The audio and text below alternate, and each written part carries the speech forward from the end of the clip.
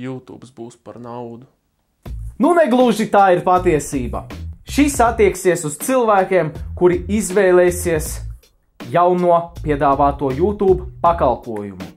Kurš sauksies YouTube Red? Kāpēc YouTube Red?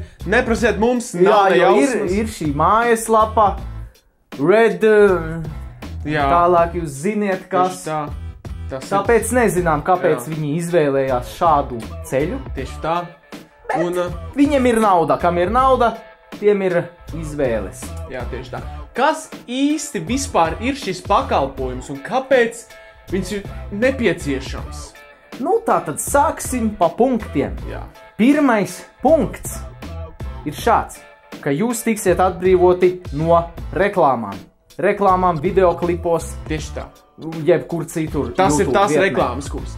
Tu atver video klipu, iet video klips, un tad pauze, un tur būs reklāma. Vai tās reklāmas, kas eh, skatoties video klipu, vienkārši tur jānoklikšķina tas x-inch, vai no arī reklāmas, kas parādās video klipa sākumā. Tās nebūs. Un arī reklāmas, kuras nedrīkst skipot, kuras vienkārši iet un tev Jā. ir jānoskatās. Tas nebūs. Tas nebūs. Tas nebūs.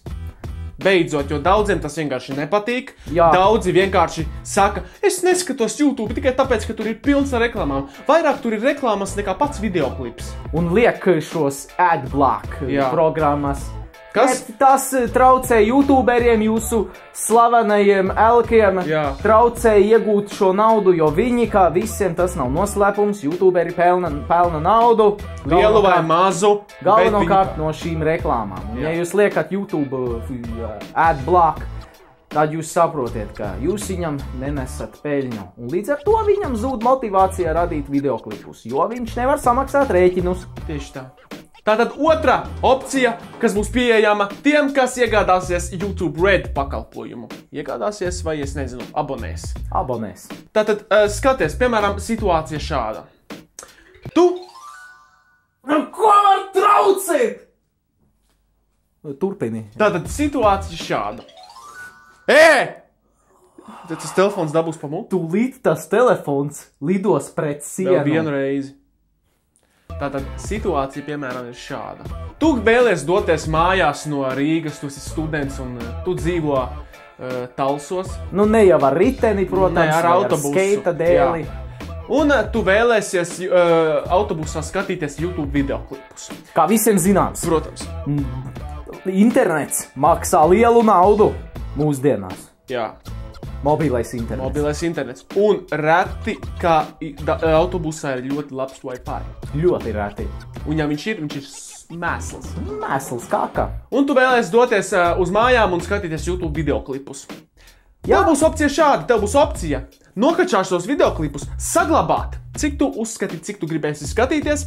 Protams, nokačāt un saglabāt tad, kad tev būs internets pieejams, lai tu vari braukt mājās un skatīties šos video klipus labā, augstā kvalitātē un būt laimīgs. Jā. Skatīties tos offline. Bet, protams, jūs nevarēsiet laikot šos video klipus, jūs nevarēsiet komentēt. Nevarēsiet. Neko jūs nevarēsiet. Bet fakts kā tāds, ka jūs varēsiet nokačāt šos video un pēc tam skatīties jebkurā jums pieejamajā laikā. Un vietā. Bet tas arī ir muļķīgi, tāpēc ka to var izdarīt ar, kā visiem zināms, ar datora palīdzību. Jūs varat nokačāt šo video klipu un vienkārši pārsūtīt uz telefonu un tāpat skatīties, nemaksājot naudu. Bet iespējams, ka šis ir ērtāks, jo tas ir legāli. Un tas ir diezgan ātri. Jums nav jākonvertē nekas. Jums vienkārši nokačā un viss. Tieši tā. Tāpēc teorētiski šis ir gan labs, gan slikts pakalpojums. Tieši šis otrais punkts, protams. Kā kurā? Trešā opcija no YouTube red pakalpojuma ir sekojoša. Ka jūs beidzot varēsiet minimizēt YouTube aplikāciju, YouTube video klipus un izmantot savu mobilo ierīci kā jebkad. Piemēram. video klips jums strādās fonā. Tieši tā. Piemēram, daudzi, es teikšu, ļoti daudz. Nu, personīgi es tā daru, viņš tā dara. Atnāk mājās no skolas vai no jebkādām, jebkādiem pasākumiem, paņem ēdienu, apsēžas divānā un skatās YouTube. Paralēli viņš vēlas ieiet citā portālā, jebkurā kurā jūs perversijā arī je- jebkurā. Un ka- darīt, ko viņš vēlas.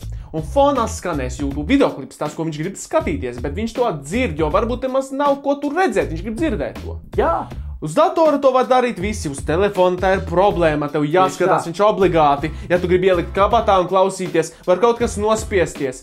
Bet ar šo opciju tu varēsi telefonu izmantot, un viņš skanēs fonā. Šis video klips. ja jūs neticat, jums parādīsim, kā tas ir pašreiz. Tātad, kā redzams, šī ir YouTube aplikācija Android telefonam. Redziet, viss strādā, viss ir izcili. Bet, ja es gribu minimizēt, lūk, viss, viss signāls pārtrūkst. Un viss, un tā tikai var. Pieņemsim, ja es klausos mūziku, man bieži ir tā, es gribu uzlikt dziesmu un spiest minimizēt, lai mūzika dziesma skan un dodos kaut kur savās darīšanās. Bet tas nav pieejams pašlaik. Šis punkts, man liekas, ir visnoderīgākais no visiem piedāvātajiem YouTube red, tā teikt, apakšpakalpojumiem. Bet arī tas ir nedaudz tā, nu, manipulācija ar cilvēku naudu, vai ne? Tieši tā. Kāpēc vajag speciāli prasīt cilvēkiem naudu, lai dabūtu pilnībā funkcionējošo programmu? Cilvēki grib naudu dabūt. Bet Viņi sūta šo naudu. viņi sūdz kā putekļi sūcējs 1853 tūkstoši pati. Ceturtais punkts šis ir Piemēram, YouTuberi, kur jūs skatāties. PewDiePie, The Pine Bros. Pine Bros. Un, uh, Un burtiski daudzi citi. Sakot, šie slavenie youtuberi. Viņiem jau ir, kas saka, līgumi, viņi runājuši ar YouTube un visiem šiem augstajiem YouTube dieviem, uh, bosiem.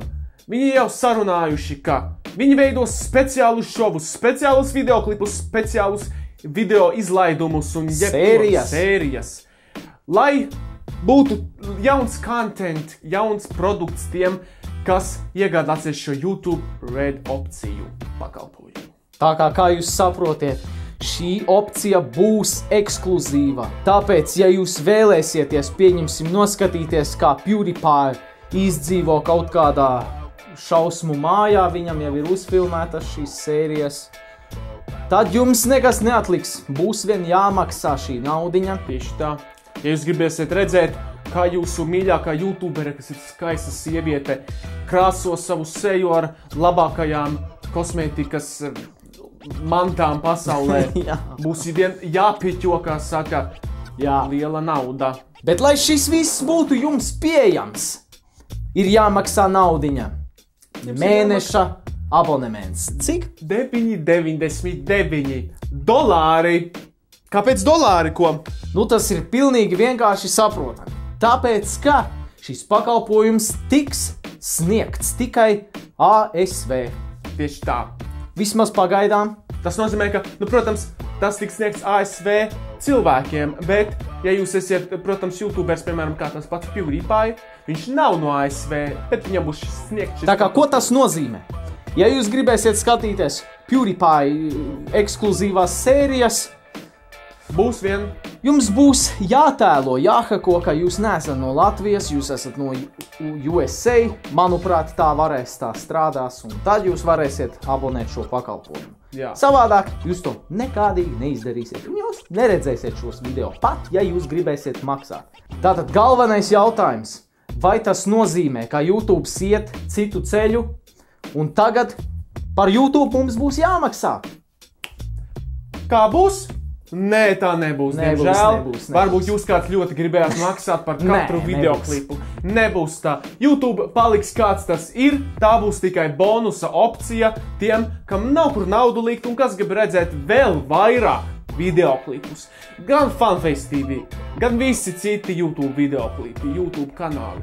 Paliks tādi paši, kādi viņi ir, un iespējams nākotnē dēļ šī jaunā pakalpojuma arī palielināsies, kā saka, mūsu un citu youtuberu, mazāko youtuberu ienākumi kopēji. Kas to lai zina? Tieši tā. Vēl viena piebilde, ka YouTube Red startēsies 28. oktobrī. kas ir tepat jau drīz. Tā kā pēc tā datuma jūs varēsiet gaidīt no amerikāņu youtuberiem šos review video klipus, viņu domas par YouTube red pakalpojumu un tam līdzīgi. Bet kādas ir mūsu domas? Tas ir, ka mūsu domas ir gan labas, gan sliktas. Uh, protams, tuvākajā nākotnē pe- personīgi Fanface TV tas nekādi neietekmēs. Ne Nē. pozitīvi, ne negatīvi, jo tas pakalpojums ir, kā mēs teicām, tikai ASV. Tikai un vienīgi ASV. Un tas nav obligāts.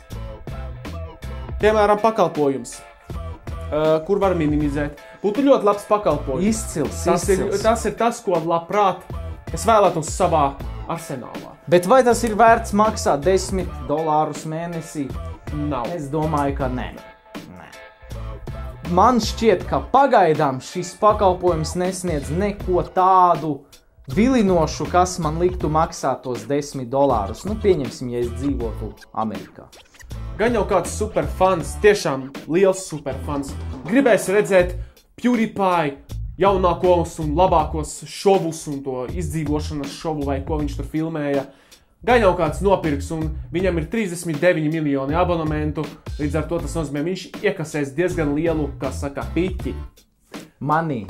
Cash. Nu, kas ir pozitīvs? Tas ir tas, ka YouTube atkal attīstās, meklē jaunus ceļus, kā e, ietekmēt savus veidotājus, creators, un e, pasniedz jaunu iespēju, kā var pelnīt. Bet, kā jau teicām, neuztraucieties. Viss paliks YouTube tāpat. iespējas būs tieši tādas pašas. Un kas jums ir jāzina? Citi teiks, ka, ui, tas ir slikti, ka YouTube iekasē, ka kāpēc man būtu jāmaksā par to? Es tā jau maksāju par, in par internetu. Bet tas Ai, ir ai. tieši tas pats, kas, piemēram, jūs pērkat taksista pakalpojumus. Jā. Jūs uh, maksājat viņam. Tāpat jūs vienkārši iesēžaties, iesēžaties iekšā un sakat, kāpēc man jāmaksā tik daudz par taksistu, ja autobusā ir tik maz. Bet, nu, tāda ir tā lieta, un YouTuberi arī tas ir darbs. Viņiem jo- vajag naudu. Tieši tā. Viņi nevar sēdēt un filmēt katru dienu video klipus, neko par to nesaņemot. Viņiem vajag ēst, maksāt rēķinus un tam līdzīgi. Tieši tā. Ar to mēs arī beidzam. Cerams, ka jums patika. Nospiediet like, ja jums patika. Ja nepatika, nu tad veči piedodiet. Neko darīt. Neaizmirstiet padalīties ar šo video klipu, jo visiem ir jāzina par šo jauno YouTube piedāvāto opciju. Tieši tā. Nu ko, bet mēs tiekamies nākamajos Fanface TV video klipos. Uz Jā. redzēšanos!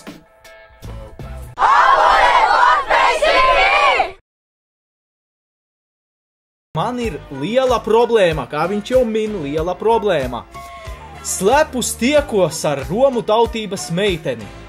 Bet maniem vecākiem pret to ir lielas pretenzijas, un man šķiet, ka viņi sāk nojaust.